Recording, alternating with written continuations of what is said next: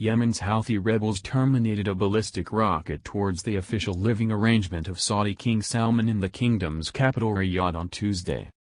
This was the second rocket assault in two months and as per Al Masirah TV today's strike was countering for the administration's assaults that killed more than 130 Yemeni regular people since December 6. Saudi authorities however guaranteed the rocket had been gone for local locations and had been captured with no losses.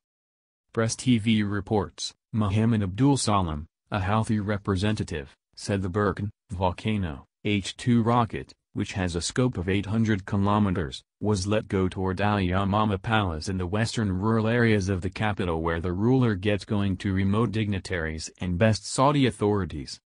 Yemen's Al Masira TV channel, referring to military sources, said the rocket focused on a huge social affair of Saudi pioneers without giving further subtle elements.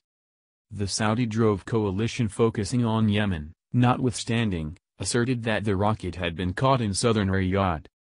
Ballistic rocket captured over Riyadh, the coalition said in an announcement. Saudi media guarantee that, that there have been no reports of harm up until now.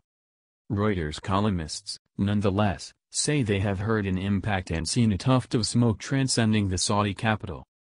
An AFP reporter likewise heard a boisterous blast at 1050 GMT right away before the planned revealing of the Saudi spending plan, which is generally declared from Yamama Palace by the Lord. Al-Alam News Arrange referred to educated Yemeni sources as saying that the blast occurred 1.5 kilometers far from the U.S. international safe haven in Riyadh. Agent representative of the Yemeni armed force cautioned that after the Saudi-drove coalition focused on the nation's presidential royal residence in the capital city of Sana'a on December 5, none of the Saudi castles would be protected. The rocket unit of Yemen's defense ministry likewise said that the rocket assault focused on the meeting of Saudi authorities at Al Yamama Palace including that all the Saudi royal residences and the kingdom's military and oil offices are totally inside the scope of Yemeni rockets. It was the second Houthi rocket assault against Riyadh in the course of recent months. The primary assault focused on Riyadh Global Airplane Terminal on November 4, however Riyadh asserted that it figured out how to catch the shot.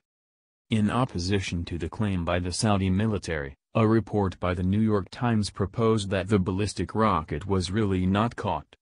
The second rocket assault on Riyadh went ahead that day that the UN Human Rights Office checked the killings of 136 Yemeni regular people and other non-soldiers in the Saudi drove airstrikes more than 11 days. The UN Human Rights Office representative, Rupert Colville, said the losses happened between December 6 to 16 out of four northern regions, focusing on that UN authorities are profoundly worried over the rising number of regular citizen setbacks in the ruined nation.